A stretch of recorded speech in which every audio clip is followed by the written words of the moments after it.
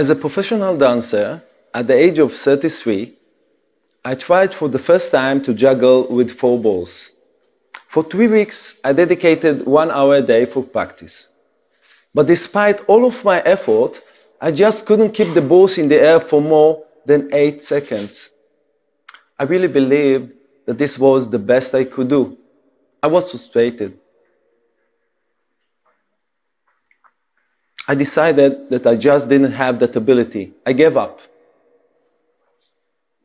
Two years later, I was asked to choreograph juggling numbers. During the three months of this production, I decided once again to try to practice with four balls.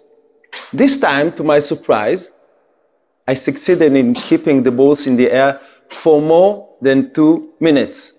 I felt great. I realized that the change was due to persistence of practice. It was one of those eureka moments for me. I truly understood that capability is dynamic and can be changed through persistence and practice. This experience had a great influence on my life. It actually changed my profession. From that moment, I regarded juggling as a tool for developing learning skills, and I use it today as a juggling teacher, helping my students to achieve similar insights about themselves. Wouldn't it be wonderful to know how to practice in order to achieve the best results in the shortest time possible? It would save us a lot of frustration and time. Well, we don't know, don't know the answer yet, but we are on the right track. The change in the ability that Mickey just talked about is actually a change within the brain. Immediately after learning, connections are formed between neurons, creating new neuronal networks. This is true for all types of learning, for learning how to juggle with four balls, but also learning history or mathematics. Our ability to retrieve the information and use is dependent on the strength of these connections. But how does it happen biologically? What is the relation between our behavior and the neurons inside our brain? This is what neuroscience is about, and it is truly fascinating. This is why I studied it for 10 years. But after completing my PhD in cognitive neuroscience, I decided to move from research to practice. I decided to become a teacher. This wasn't e easy, but it was very interesting. Gradually, I discovered that my point of view as a cognitive neuroscientist on learning processes is unique and potentially very useful. It surprised me that the two fields, neuroscience and education, were not really related. And so, I found my role as a communicator, bridging between these two fields. I teach the basics of neuroscience to students and teachers and how this knowledge is relevant to what they do teaching and learning. This is the emerging field of neuroeducation. We met less than two years ago at the Rama School for Gifted and Talented Children in Ramat Hasharon. I taught a juggling course and Efrat a course about brain science. When we met, we started talking about the relation between juggling and the brain. I asked Efrat if she could tell me something from neuroscience that would be useful for juggling training. And she told me something that changed my perspective about learning. Everyone knows that we need to rehearse in order to remember or train in order to master a skill. But according to the spacing effect, a scientifically established principle, it is also important to devote time for breaks. You may be asking yourself, if I have a limited time, why want to use it all for learning? Why spend time on doing nothing? So here comes the explanation. When we are learning or training, our neurons inside our brain are active. Immediately afterwards begins a process of forming connection, stabilizing the memory. This stabilization is essential for later retrieval. But if we activate the same neuronal network again by a second immediate rehearsal, we actually interfere with the stabilization of the previous one. Interestingly, Kelley and Whatson published in, two, in 2013 a, a, report about the uh, application of spacing effect in the classroom. They designed biology lessons composed of three very intensive learning sessions, up to 20 minutes each, with two 10 minute breaks in between. This model proved to be very, very effective. When we discussed the potential benefit for juggling, we decided we had to try it. With the support of Odelia Cohen Oppenheim, the principal of Rama School for Gifted Children, we started a unique collaboration, a joint juggling and brain science course for middle school students. We decided to let our students investigate their own juggling training in order to reveal effects like the spacing effect or any other effects. In order to do that, we had to consider how to measure motoric skill improvement. To get an idea, let's try an exercise together. Hold your right hand in the air. And now let's draw a square.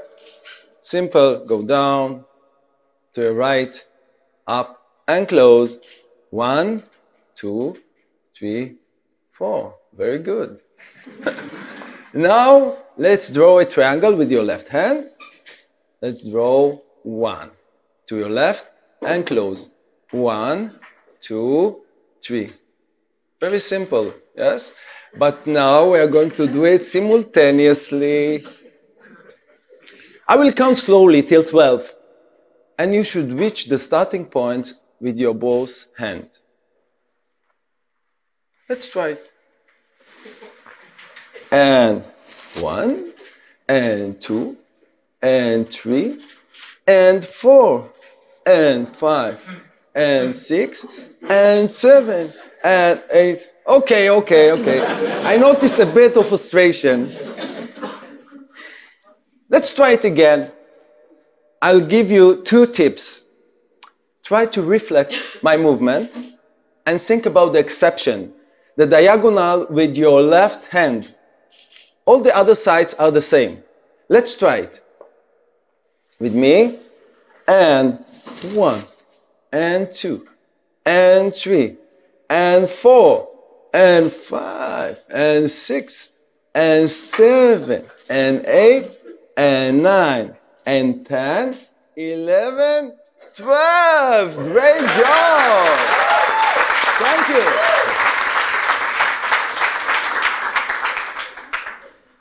So, what can we measure here? We actually thought about it for a while, considering several options before coming up with a simple, effective, and elegant solution, or so we think.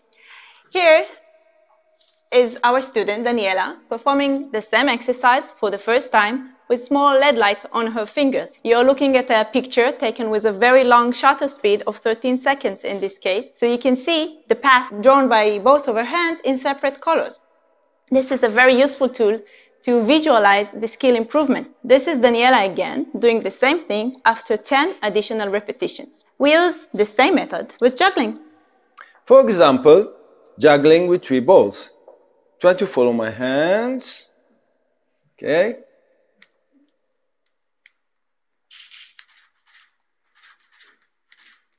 This is me doing the same thing with LED lights in my hands and blue luminous balls. Notice the stable pattern of the hands. And this is our students. Daniel, at the beginning of his first uh, office training, and you can see the lack of pattern, and you can't even see him because he was constantly moving. And you can even see him reaching for the ball that fell. And this picture was taken after only one hour of training and after Daniel saw the first picture. And this picture is after another six weeks of training. The improvement in his technique is obvious. This is our student Vash, also training juggling with three balls, and you can see her improvement over the weeks. She also documented her practice by writing down the number of successful catches she managed to do every time, and you can see these data on the chart here. You can see her gradual but very nice improvement in both measures. Our students now have the research methods. They can even extract quantitative data from the pictures in order to compare different practice methods. We even have some initial but very promising results from juggling regarding the spacing effect that support the advantage of the 10 minute breaks. But taking one step back, this process of investigation by our students provided us with some unexpected insights education wise. Juggling is obviously fun, but this is just the outer layer. Many times, students must face their insecurity and frustration. One of our students came to me during the first lesson last year and said, Mickey, I will never succeed. I can't even juggle one ball. After some persuasion, he was willing to try with two balls. He improved a lot in just one lesson. But the same thing happened again with three balls. And again, he made an enormous progress juggling with three balls. And he couldn't deny it because the numbers were in front of his eyes. At the end of the semester, the great change in him was clear, and it wasn't just about juggling. As he put it in his own words, now I feel that I can face any challenge. Isn't it a good reason to wake up in the morning and go to work? Our collaboration was an enlightening experience for me, different from what I have seen so far in my classes. It was clear that when the students take the role of the investigator, dedicated to documenting their own progress, they are more committed to the learning process and motivated to persist. When they see the change in their own eyes, in the colorful pathways and in the numbers, they simply can't ignore it. Seeing is believing, and believing change the way they learn, making it much more significant and efficient.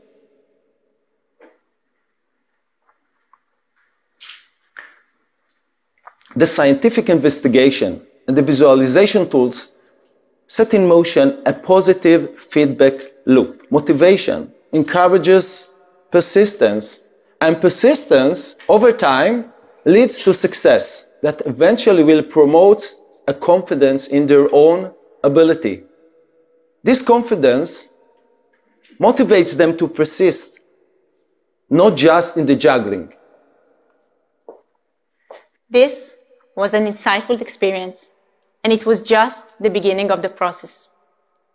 I truly believe in engaging students and neuroscience based research that can be applied in all fields of learning. After this initial process of self investigation, students understand eh, their, their own learning processes. They get curious and motivated to ask questions and answer them through research. For example, what is the optimal interval between two learning repetitions? These answers, the answers they get from the research, are relevant and can be applied immediately, for example, for developing learning strategies that will eventually improve their achievement. At the end of the day, they understand, they really understand how to learn, and they gain confidence in their own abilities. Our collaboration brought us farther than we ever imagined. We took our two individual colors and combined them into a new inspiring blend. We are constantly learning about the learning process, getting excited every week about new ideas and directions. Let your students investigate themselves. They find meaning and they gain confidence. Thank you. Thank you.